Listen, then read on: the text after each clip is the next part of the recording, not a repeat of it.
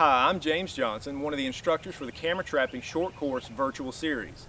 The webinars will be held over the course of three days and we will cover many topics pertaining to the use of camera traps in wildlife science applications. Everything from the technical details for how camera traps work, considerations for deploying and maintaining camera traps once they're in the field, to image and data management and methods for analyzing camera trap data.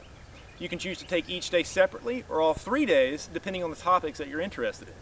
We have several instructors with years of experience joining us to share their knowledge, so whether you're getting ready to start a camera trapping project or if you already have data in hand, there's something for everyone. So come join us and get registered today.